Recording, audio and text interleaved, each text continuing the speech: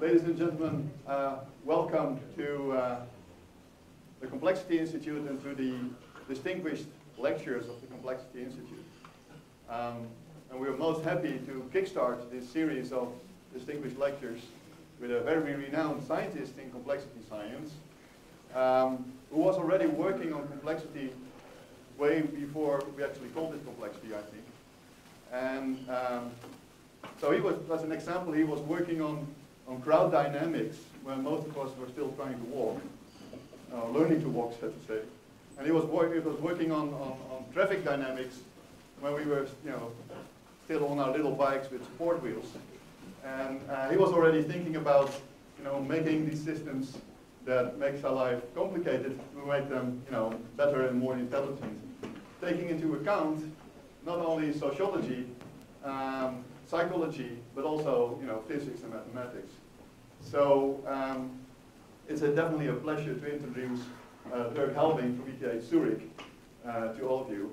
Um, he, um, uh, he's one of those guys that doesn't have to worry anymore about the citation index or something like that with a H index which is way over 70, so he doesn't have to worry about that. it's really a pleasure. I hope you'll enjoy it.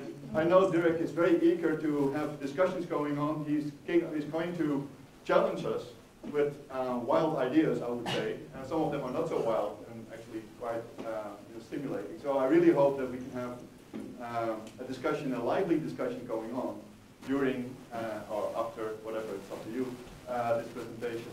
So join me in welcoming uh, Dirk Helbing.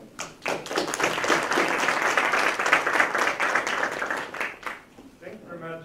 Good afternoon, ladies and gentlemen. I'm very pleased to be back in Singapore, a wonderful city and country. And today I'm going to talk about building a smart digital society together. That means all of us. The problems of the world are complex. We are faced with climate change on a scale of, say, 30 to 50 years. Um, we are seeing it now already. We are faced with an energy crisis. We need to rebuild our system towards renewable energy. And fact, uh, we'll run out of oil in a couple of decades, and uh, this will produce a number of dramatic problems, in particular as we are using oil not only to, to drive our cars and fly planes, but also to produce fertilizers, uh, plastic, and many other things that have become so important for our lives. On the same order of time, we're seeing a digital revolution happen. So basically, computers are getting into this range where they will overtake the complexity of the human brain. And the question is, how is this going to change our society? We already see that parallel to this development, cybercrime is exploding exponentially. It's becoming a bigger and bigger problem. Every year now, up to $3 trillion are being wasted through cybercrime. And maybe even more worrying is cyber war, because basically within the fraction of a second, we could switch off critical infrastructures not well enough protected. But in fact, we don't know how well our infrastructures are really protected. We've seen some manipulations of critical infrastructures all around the globe recently. Further on, there are challenges that could be even on a much smaller time scale, the financial system might potentially collapse. At least we didn't leave the financial crisis behind. And also conflict or war could happen anytime. So we need to be better prepared for this kind of situation. It's clear that certain challenges will come and one of them could also be actually a global pandemic. Now this is the more serious as our antibiotics are becoming less and less effective, so more and more uh, multi-resistant bacteria. And so basically, even those bacteria that we thought we could control might come back and pose new risks. So the question, is, how can we address all these problems? Do they have something in common? Well, there is this old approach. We know it very well. That's what scientists used to do. We went to a library.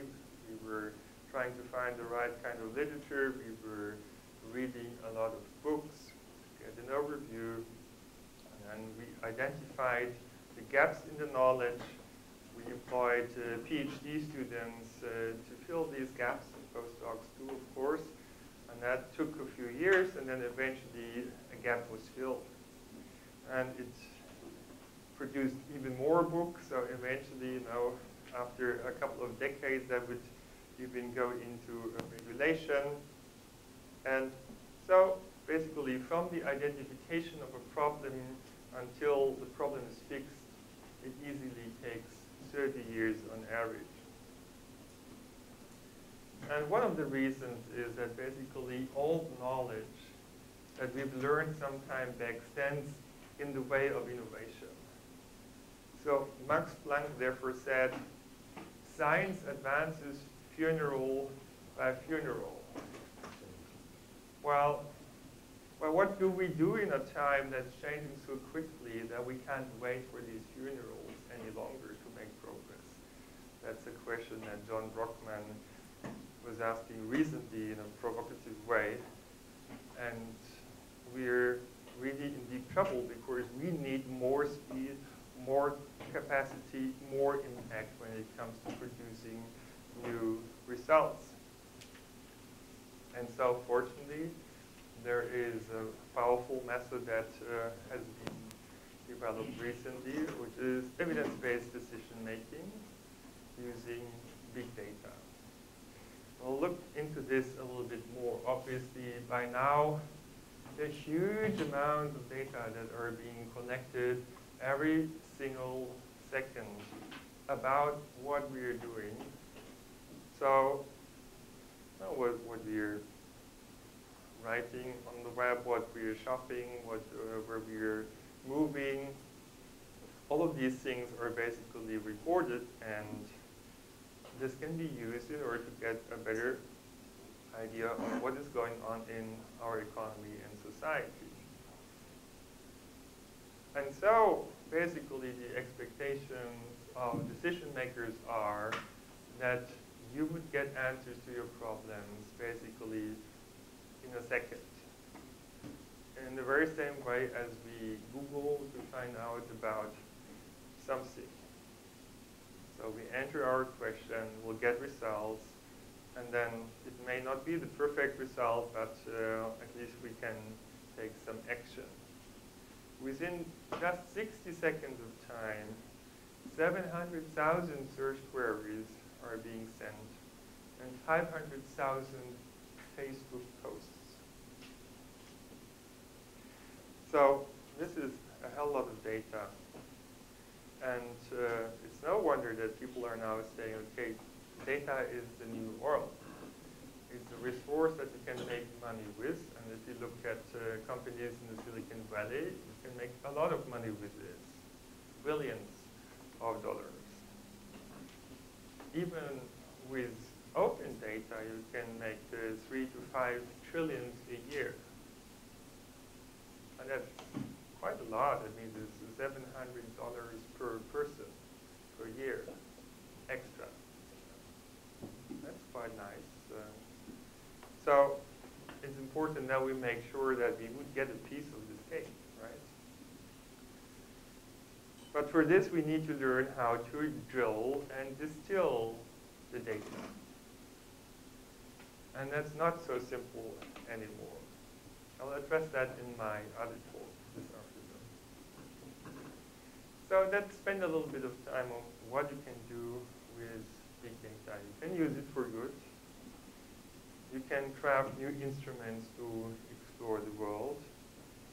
Um, you can map the world in the first place. So you collect all the data, and if you do that well, then basically you can create a picture of the world. I'll come to this uh, in detail later on. And with all this information, you can create compasses for decision makers. And rather than just looking into GDP per capita for a country with a delay of so and so many months, we could now get disaggregated data, we could get it at a finger snip. Uh, we could measure other things that are important, such as um, environmental uh, social capital, reputation and trust, which is a basis also for economic development, but also the happiness of people. All of these things now become measurable. We could uh, understand the spreading of international tensions, and we could also better prepare for the spreading of diseases such as Ebola. And so we are learning a lot about problems that uh, have been bothering us in the past. But also more positive things like innovation and production of knowledge and the consumption of knowledge can now be measured. So we've been looking in citation data and you can basically see the flow of ideas from one country to another, from one city to another. And it's quite interesting to identify the most productive places in the world. You can also zoom into this and look at the spreading of ideas, of means, of physical concepts, for example. And this map has been automatically produced over here, showing the most important subjects in physics. And even though I studied physics, I should say, it was never so clear as it became when I saw this picture. When I looked at it, I said, yes, yes, this is what actually happened. And um, usually we, we have so much noise around this, so it is sometimes really difficult actually to see what is going on.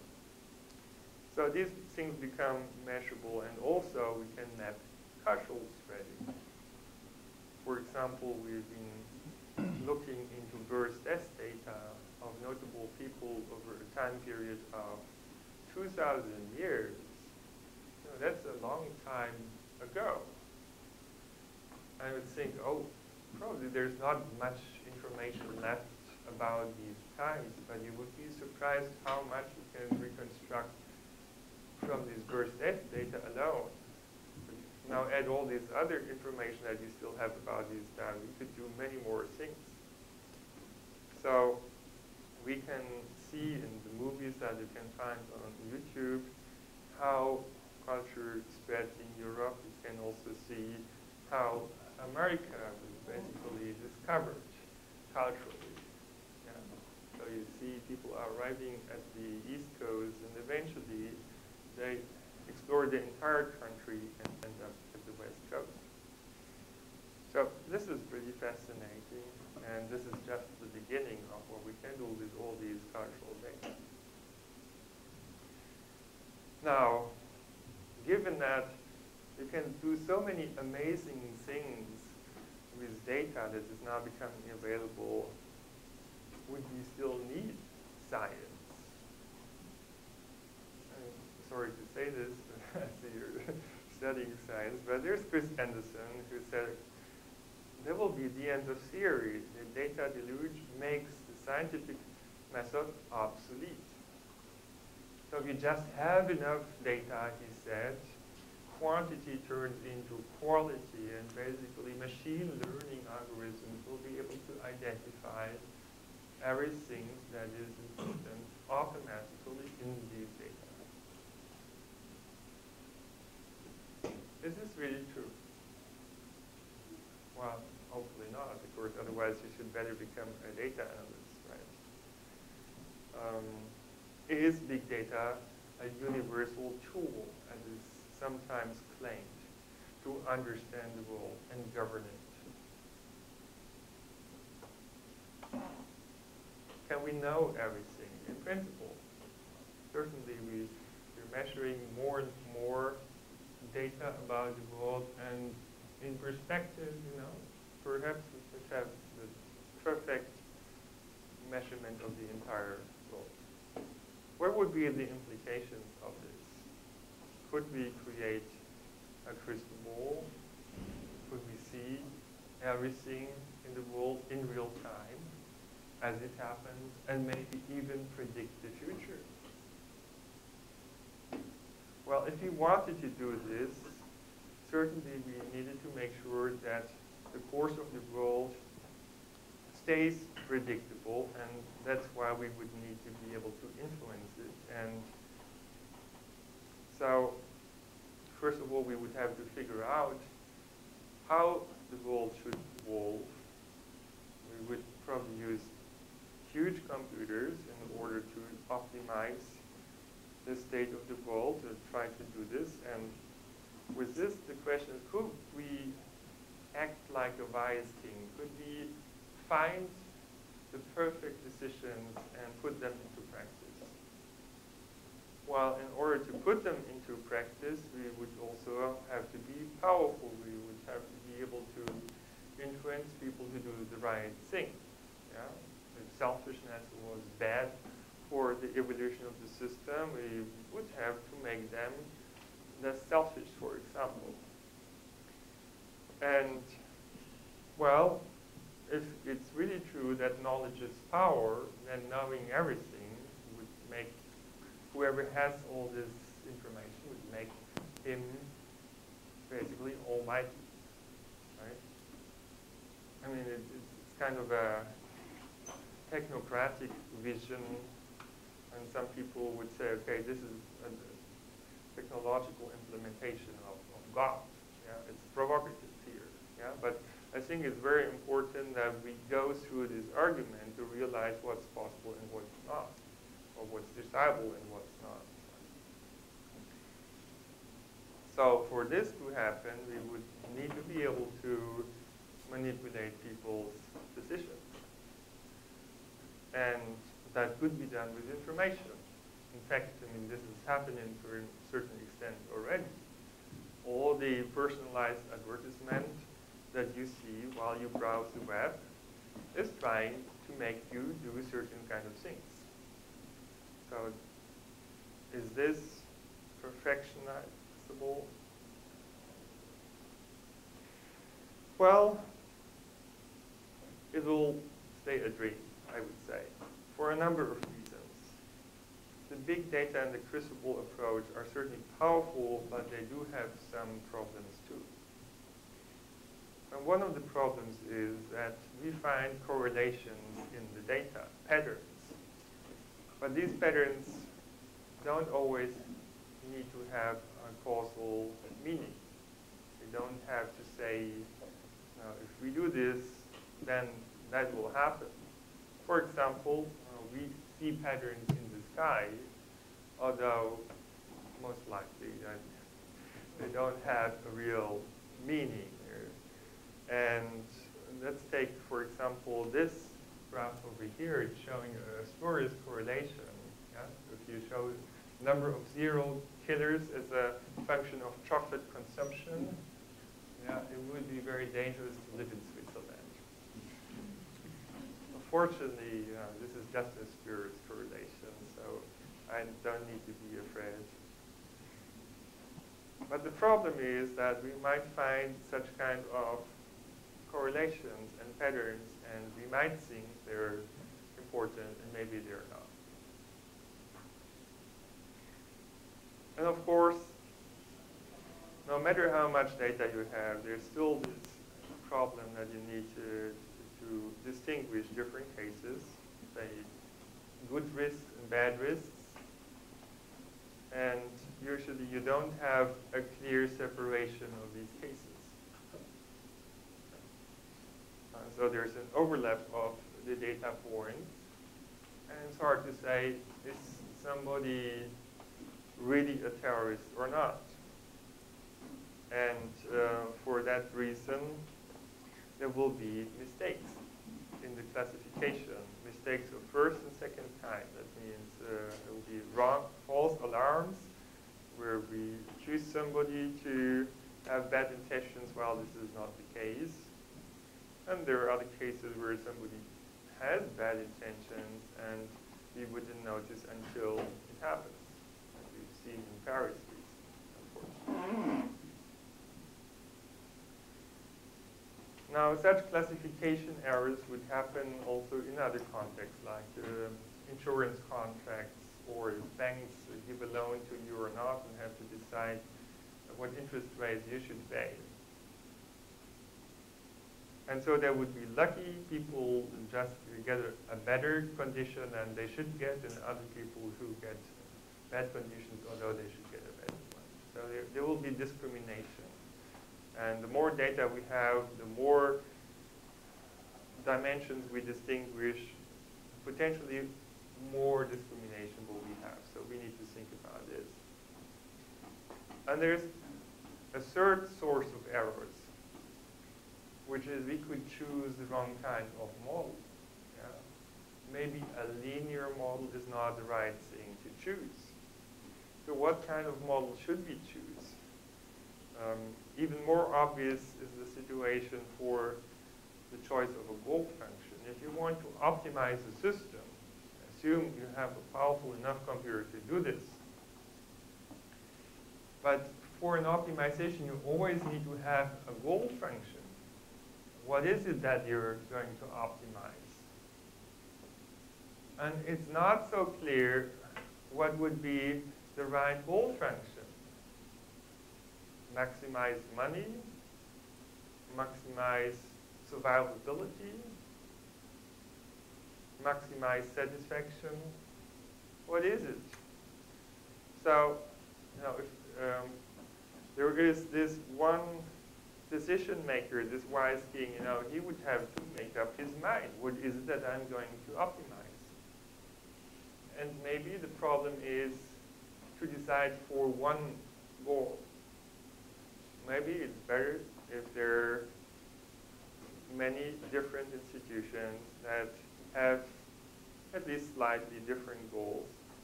And we'll come back to this later on.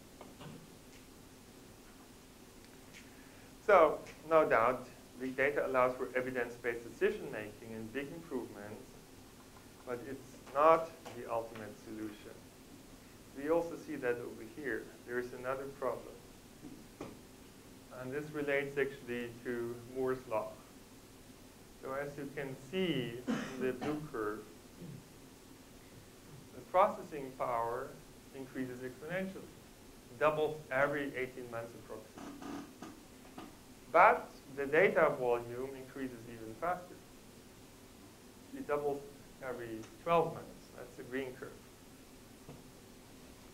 So what's happening is we're getting from an age where we didn't have enough data to take good decisions towards an age where we can make evidence-based decisions using big data, but as we can see over here, there is a gap between the data volume and the processing power. And that gap becomes larger and larger. In fact, the proportion of data that you can process is increasing, uh, decreasing more and more over time. That means there's a decreasing percentage of data that you can even look at. And that means the large majority of data eventually, in perspective, will be dark data. It's somewhere, but cannot process it. And then you have to decide, okay, what kind of data am I going to process? And that creates what I call the flashlight effect.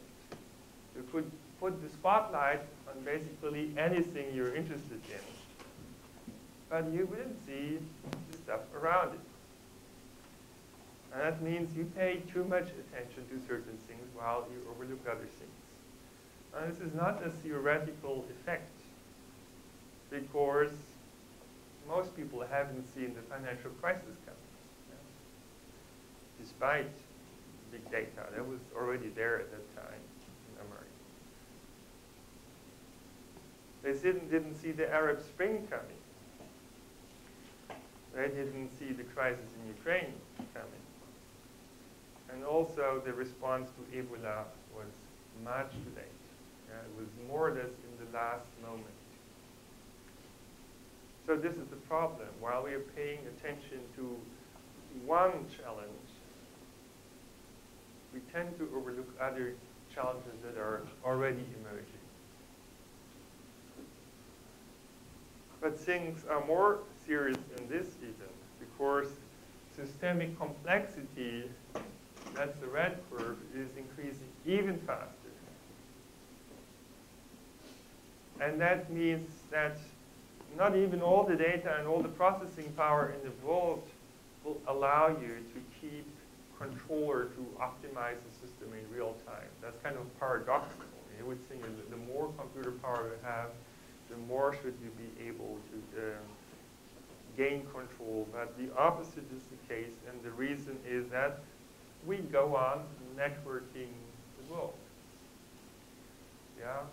So that creates ever more possibilities and ever more complexity in a factorial way.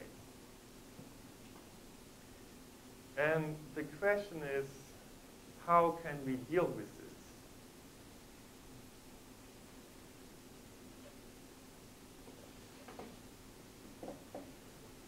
Fortunately, there is complexity design. And it allows us to understand the kinds of problems we are facing. First of all, just for the sake of completeness, I'm mentioning that we need to distinguish complicated and complex systems. So complicated systems, like cars, you know, they consist of many parts, but these parts are in a certain position and serve a certain function. They're well controllable altogether. There's few degrees of. So with the steering wheel and the gas and the brake, you can basically control the entire system. In contrast, traffic flow is a complex dynamical system where each of the parts, in this case, each driver vehicle unit, can separately adjust to other parts in the system. And it creates a collective dynamics that may not be understandable from the properties of the single parts. The interactions are becoming the dominant force, basically, of uh, determining the system behavior. And so one of the problems that cause trouble in the real world is unstable dynamics. Uh, we probably know it best from weather forecasts. There are principal limits of predictability. Even if we had a weather station every single centimeter, as much data as you want, it would not be possible to predict the weather over a time period of a month or a year or five years. Why? Because the physics behind this, which is the physics of turbulence, doesn't allow this to happen. According to the physics of turbulence, it's similar in a certain sense uh, to deterministic chaos. A slightest change in the initial condition would after some time lead to completely different outcomes, known as butterfly effect. And so there is another problem, like uh, control of these systems is difficult. For example, this is a predator-prey system, and say the hunter would like to get the system towards this point. Well, if you try to do this, then most likely the system is going to end up in a completely different place. Or take this system, of course well known to you, uh, first order phase transition at a tipping point. But the issue is that if you want to control a system, like a company or an economy or a society, then in many cases, there's not much happening. Yeah? You're making an attempt, you have the best intentions, but it, the system doesn't do what you want it to do. System cannot be controlled like a bus. So you're putting more force in the system. You're trying harder, and still maybe nothing happens, or not to the extent as it should. And then you're trying even harder, and suddenly the system changes abruptly, but not always in the way that you want it to change. So that means managing complex systems is really difficult. as this example shows. So people are driving in a circle, and that shouldn't be a difficult task. Everyone has a good driver education, sees what's going on, but still, a phantom traffic jam is occurring.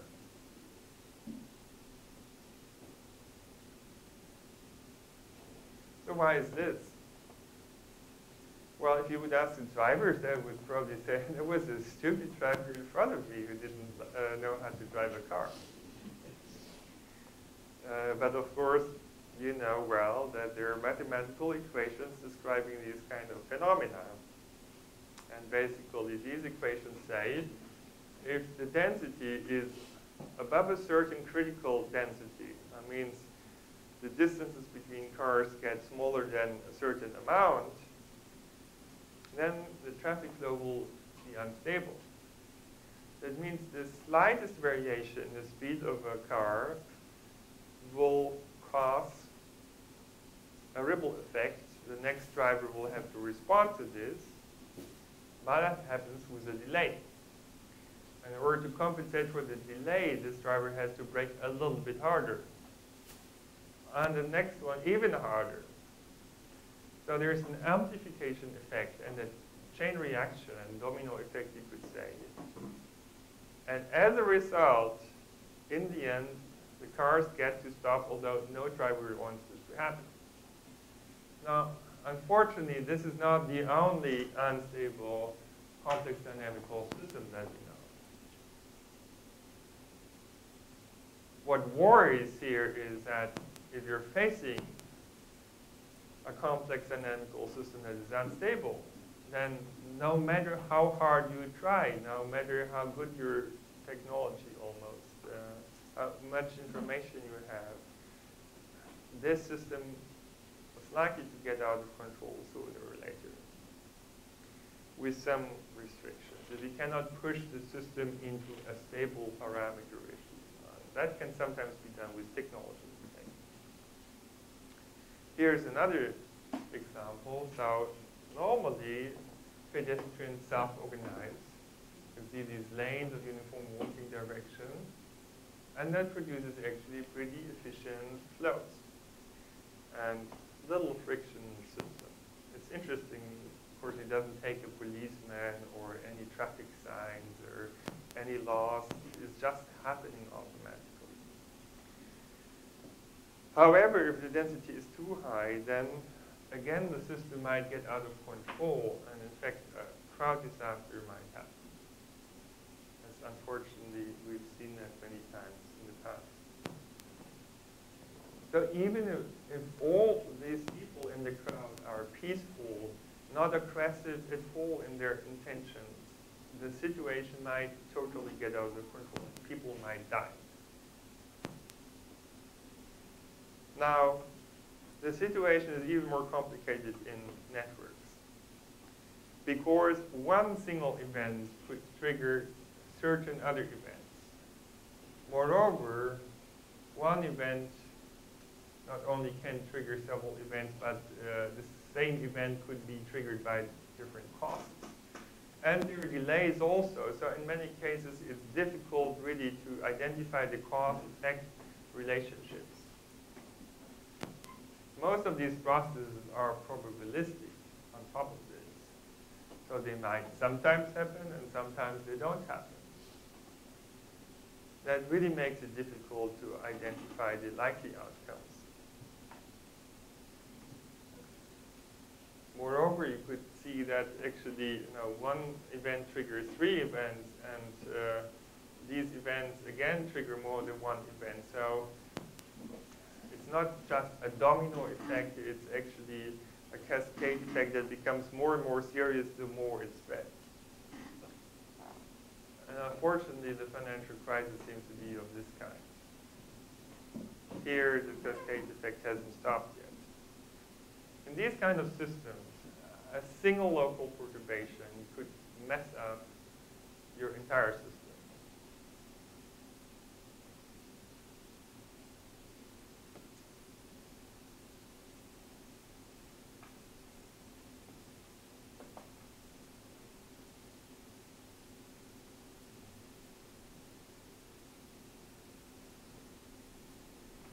Now, this is just an experiment weekend. So take mouse traps and some table tennis balls and then you can do this uh, nice experiment. Now this experiment has been invented to represent chain reactions as we see them in nuclear fission.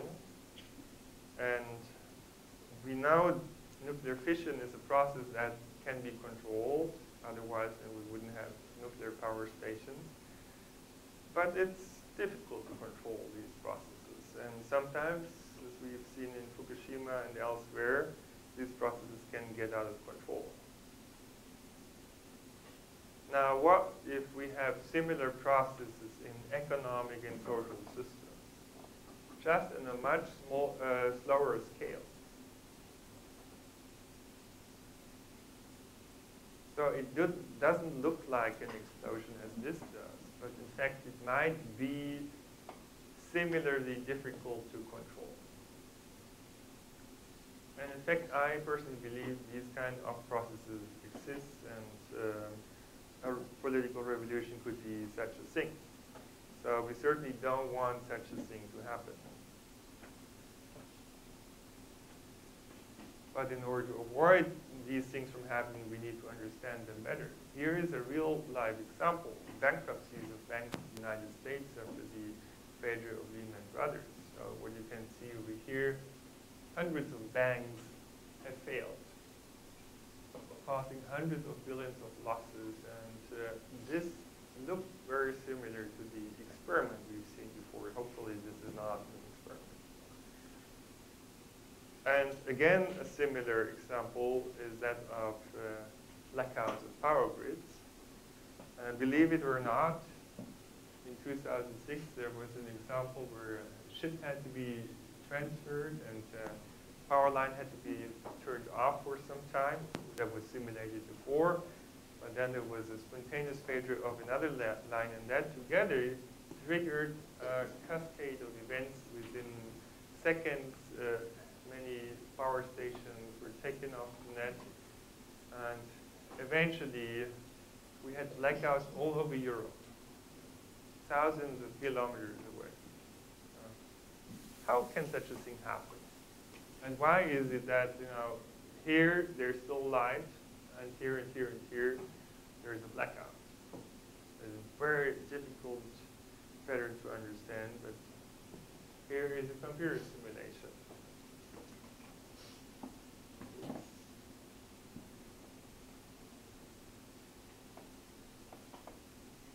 So you can see there's a failure here in the beginning, and then it spreads, but still here in the neighborhood, there is light. The largest damage is actually caused over here, yeah, far away